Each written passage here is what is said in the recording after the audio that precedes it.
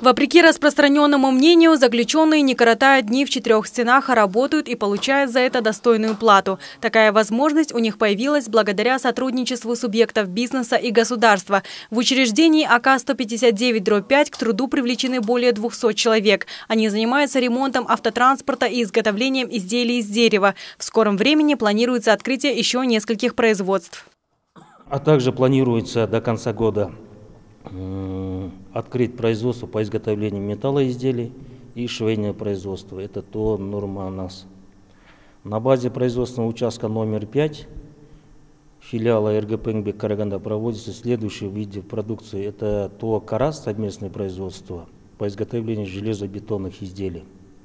И то Нур, Нурарна, это по производству комбикорма, а также по изготовлению пластиковых окон.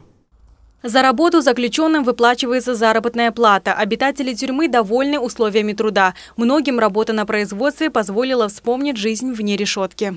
Условия нормальные, зарплата тоже устраивает. Все. Работа. По мне. Был иск у меня государственный. 193 тысячи тоже погасил все.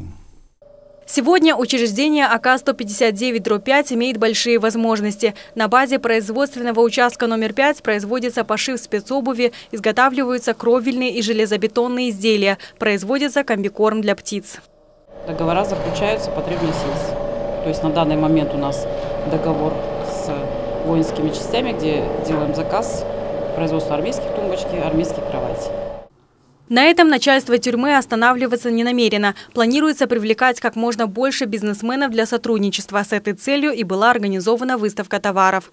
Тохжан Лянова, Аман Кужанов, Андрей Тимофеев, Первый Карагандинский.